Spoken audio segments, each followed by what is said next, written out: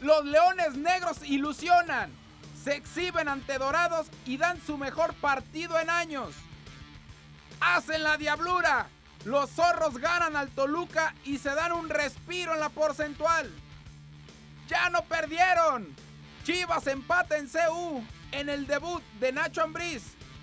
Leaño pone su granito de arena. Estudiantes cae de nuevo y ya se asoma a la Liga de Ascenso. No le cambie, inicia el mejor programa deportivo de Guadalajara.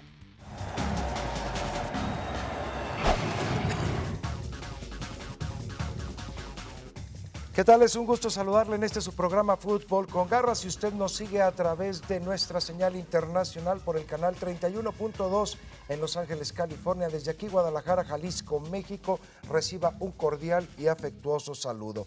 La pregunta en esta ocasión es, ¿Eugi podrá salvar a Tecos? Participe con nosotros. Recuerde que estamos totalmente en vivo y para ello hemos eh, se ha disponido perdón, dispuesto, dispuesto, de dos líneas telefónicas 36 36 14 44, 36 56 34 44.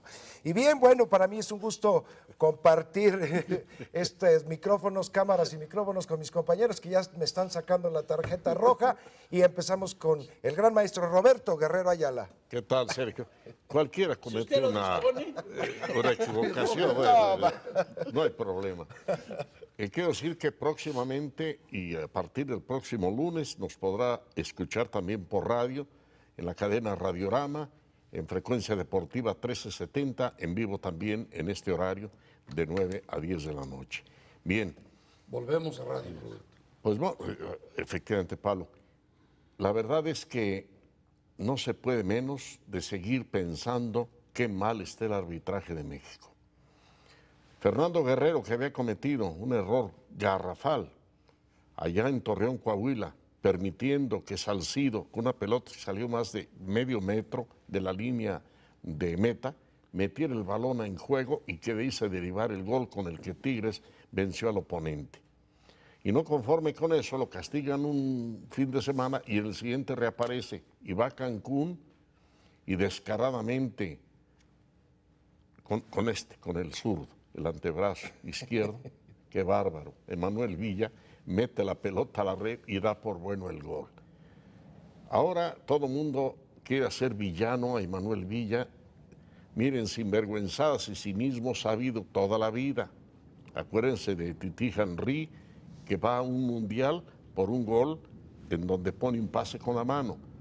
Los jugadores son pícaros, no es la culpa de ellos, es de los malos árbitros que tenemos en México.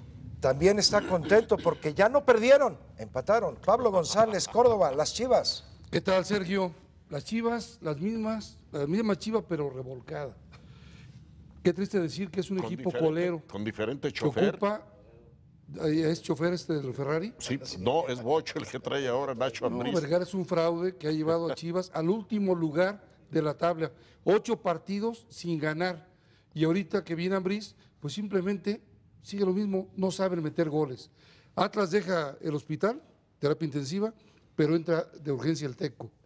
Y esto de fiesta es porque el equipo de Tijuana pierde y ganan los dos. Y también porque Leones Negros es mejor que todos ellos, que los tres juntos. Leones Negros, 30 mil aficionados en la cancha de Jalisco son superlíderes y son candidatos a clasificar y a buscar ahora sí el título. Después de 1994, cuando desaparecieron, después de 20 años en primera división, Leones Negros revive con este resultado porque 30 mil gentes abajo fue poco para lo que puede venir. Mario Ortega ya lo había vaticinado y está también muy contento. Bueno, ganó el Atlas, pierde Tecos, sigue la distancia, don Mario. ¿Qué tal, don Robert? Que mil respetos para don Robert. para Pablotas, para Pablotas también.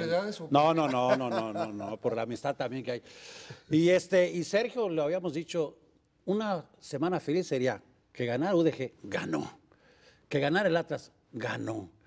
Que perdía Tecos, gracias, señor Leaño, perdieron.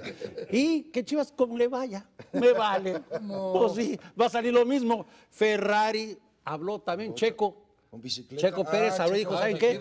Yo manejo ese Ferrari, soy F1. Oiga, una, una felicitación y un saludo al periodista Raúl Galván es un periodista argentino que andaba medio retirado. Le mandó muchos saludos a don Roberto Guerrero Ayala y a Pablo González, que los conoce bien. Sí, es buen amigo. Esa fue la tarjeta roja. Y esa fue la tarjeta eh, eh, de radio también.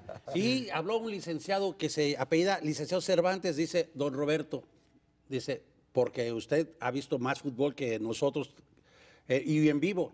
Dice, hablan mucho, el señor Pablo González habla mucho del Barcelona que el mejor equipo del mundo. Dice, es el mejor del mundo. Espérate, dice, yo le quiero decir a Pablotas y que don Roberto no lo confirme, es cierto o no es cierto, que en 1989 existió un equipo que se llamaba el Milán, con, me dijo la alineación, con Giovanni Gallo, Manzotti, Costa Curta, Maldini, Francisco Varesi, Angelo Colombo, Roberto Donadoni, Gullit, Marco Van Basten y el señor Rijard. Dice, ese equipo era peor que el Barcelona que dice don, Barcelona. ¿eh? Menos se puede establecer peor.